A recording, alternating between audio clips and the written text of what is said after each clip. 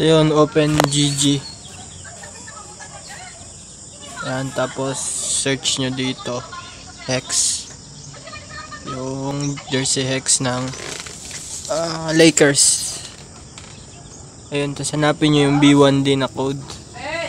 Oh! Ano na? Malo-malo.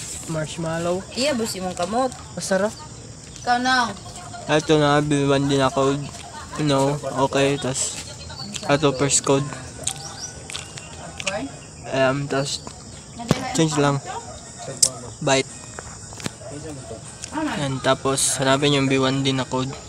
32 lang yan galing dun sa first code. So yan yung may 8. Tapos yung yellow code na chinek nyo, which is ito.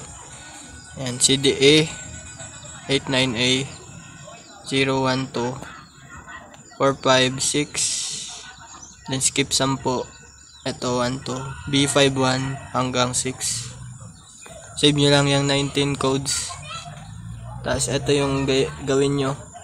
Ito. Yan yung 40 then 76 0 negative 103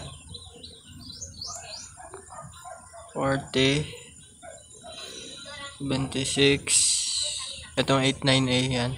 0 tapos negative 103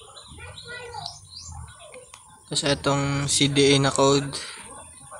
Yan CDA 0 negative 65 negative 1 0 negative 65 negative 1 ayan. Tapos nyan 012 na code. Hanggang 456 lahat yan negative 1 ayan 456 then etong 1 2 3 4 5 6 value ng 1 ay ah, hanggang 3 ay 66 98 96 66 98 96 ayan. Tapos 99 to 70 99 to 70 so syempre di pa to tapos dahil kung titingnan nyo yung roster ng Lakers. And ganyan pa yan. Kailangan muna nating etong ayan o from yung kumbaga base jersey niya from UH 015 gawin nating R3A 015 yun lang yung steps. Dali lang jersey hex code. And then palitan yung jersey na base. So sa dito UH 015 gagawin nating R3A 015 retro number 3 away. No? Okay. Tas first code. Go to then change ulit value format gawing word. Tas again etong 5 UH 015 gagawin nating R3A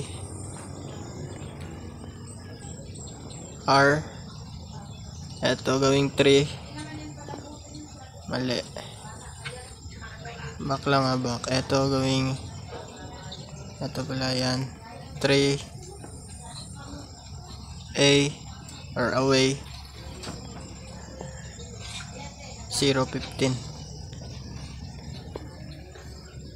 0 tas 15 ayan.